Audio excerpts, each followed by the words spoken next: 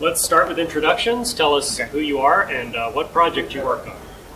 So my name is uh, Rabi Mishra, and I have been working with uh, the Heat Orchestration project uh, since 2014. Uh, so it's I have been the PTL for Heat uh, uh, from I, I was PTL for Heat in Ocata cycle, and I've been a co-contributor for quite some time. Tell us about the Queen cycle. What did the HEAT project accomplish in the last six months? Okay, so as I mean, we moved to a different architecture with Heat, where we can have uh, uh, multiple engines in a distributed architecture.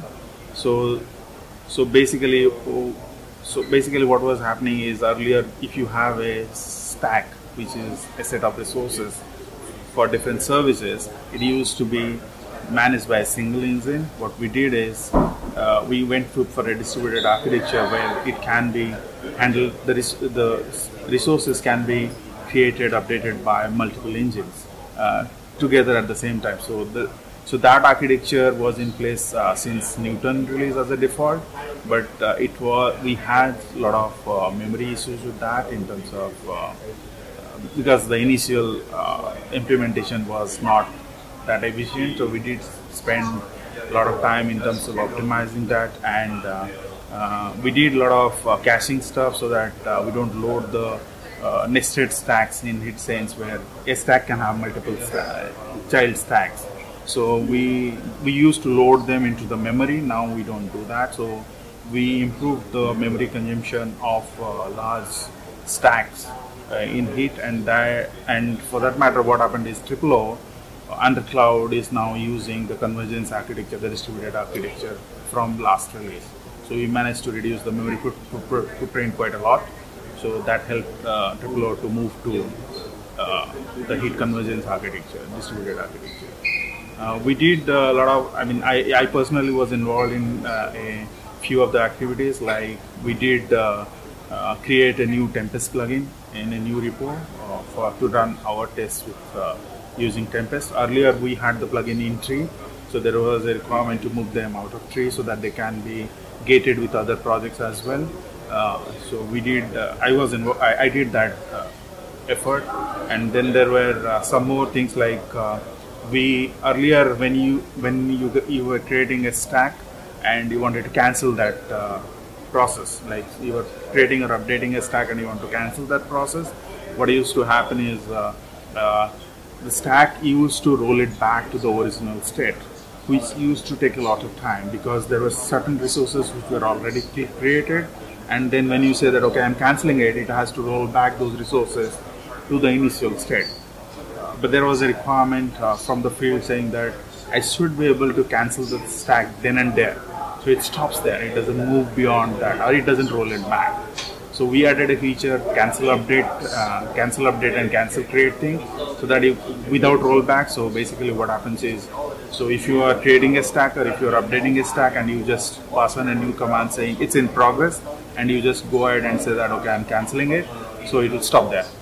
So the resources that are in progress uh, in in convergence architecture of the distributed actor, they will complete, but there would be no new resources created, or the earlier resources which were updated or created, they would not be rolled back.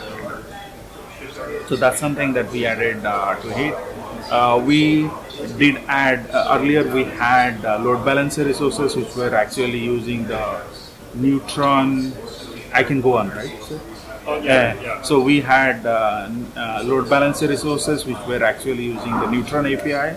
So Octavia became a separate project. So we had to create all sets of resources uh, for Octavia. So basically now what would happen is if you want to use the load balancer stuff, you have you have a separate set of resource plugins to use. We implemented that in that last cycle, and uh, we did a few few more things in terms of the community goals uh, around uh, uh, policy stuff. Uh, we did, I think, we, oh, how, we did add some few features to resource group, which is consumed by resource group uh, plugin, resource plugin, we- where uh, earlier you can blacklist a set of resources, but then you they were permanent. So if you say that if you have 10 servers and you say I'm blacklisting the third server, then you cannot use that index after that.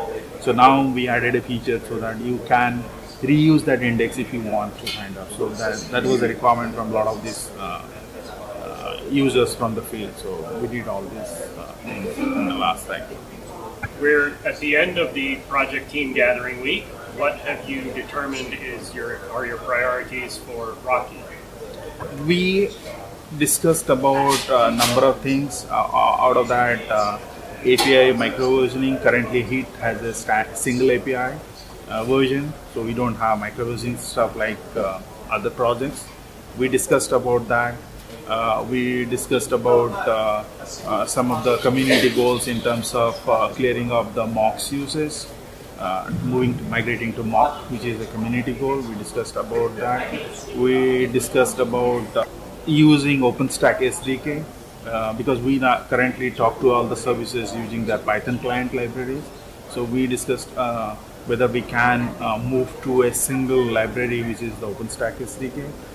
I mean, there are a number of uh, topics that we have identified, and we discussed about those. But the actual implement, whether we will be implement, will be be able to implement all of those or not, will depend on the bandwidth that we have available. Because we are a small team now, with not many projects, uh, not many uh, companies participating in the project uh, in terms of active contri- contributions now. So, so we have identified around uh, eight or nine areas which we want to focus on. Um, but uh, the actual what we would be able to do, we will probably be able to. We want to do all of those, but uh, what we will be able to complete would depend on the bandwidth available. Well, thank you for your time and uh, good luck getting home in the snow. Okay. Thank you, Nick. Thank you, Rick. Thanks. I'll see you next time. Cheers. Bye.